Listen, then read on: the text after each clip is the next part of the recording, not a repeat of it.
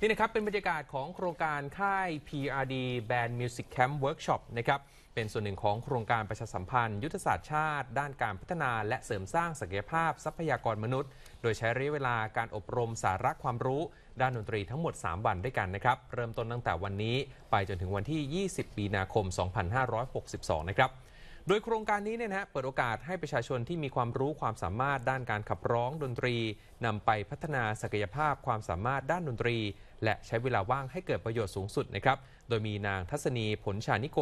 รองอธิบดีกรมประชาสัมพันธ์นะครับเป็นประธานเปิดโครงการค่าย PRD Band Music Camp Workshop นะครับรวมถึงมีวิทยากรผู้ที่ให้เกียรติมาร่วมแบ่งปันสาระความรู้ และประสบการณ์ต่างๆ มากมายเลยนะครับ ซึ่งการอบรมในครั้งนี้นะครับจะได้รับความรู้ทางด้านดนตรีในแขนงต่างๆ เช่นการขับร้องเพลงไทย เพลงสากล ลูกทุ่ง แนวเพลงกรมประชาสัมพันธ์ และการเล่นเครื่องดนตรีด้วยนะครับ